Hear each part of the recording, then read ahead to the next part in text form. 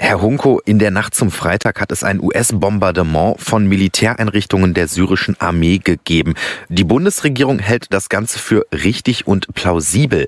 Wie ist Ihre Meinung dazu? Ja, völlig anders. Also es ist eine, aus meiner Sicht eine nicht zu rechtfertigende völkerrechtswidrige Aktion. Es ist ein aggressiver Akt der US-Regierung und ich erwarte hier eigentlich auch von der internationalen Gemeinschaft und auch eben von der deutschen Bundesregierung eine klare Distanzierung und Verurteilung. Bezug ist ja ein schrecklicher Giftgasvorfall vor einigen Tagen in Syrien. Es ist völlig unklar bis dato, wer dafür verantwortlich ist, wie das zustande kam. Das muss natürlich rückhaltslos aufgeklärt werden.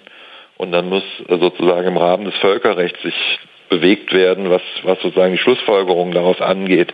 Aber was dann einfach auf Verdacht, hier eine wohl auch wichtige Militärbasis der syrischen Armee zu bombardieren, ist völlig inakzeptabel. Und ich verstehe auch überhaupt gar nicht, wie Angela Merkel oder auch Sigmar Gabriel da sich so klar auf diese Seite stellen, auf die Seite der USA da stellen können. Der französische Außenminister Ayrault hat gesagt heute Morgen, dass Frankreich nicht bereit ist, einen Kriegspfad gegen Assad, äh, sich an einem solchen Kriegspfad zu beteiligen, wenn die USA das vorhaben. Ich glaube, das ist eine wichtige Äußerung. Und ich finde auch, dass die Bundesregierung diese Parteinahme im Syrienkrieg, das ist ja nicht irgendwie ein Krieg der Weltgemeinschaft gegen den IS, sondern hier kämpfen ja ganz unterschiedliche geopolitische Akteure gegeneinander, dass diese Beteiligung Deutschlands beendet werden sollte. Also dass die Soldaten aus Injalik und die Tornados abgezogen werden sollten. Das wäre eigentlich eine, auch eine Schlussfolgerung, weil dieser Krieg kann weiter eskalieren und Deutschland ist dann mittendrin auf einer Seite und ich halte das für falsch.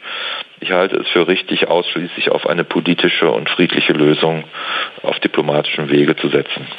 Ein westlicher Angriff ohne handfeste Beweise. Wie sehr erinnert Syrien da eigentlich an die Anfänge des Irakkriegs? Ja, sehr, sehr. Ich habe das auch vorhin schon mal in einem anderen Interview gesagt. Das wir erinnern uns natürlich 2003 an die Massenvernichtungswaffen im Irak, die der Kriegsgrund waren der USA und diese Massenvernichtungswaffen haben sich ja später als Propagandalüge erwiesen.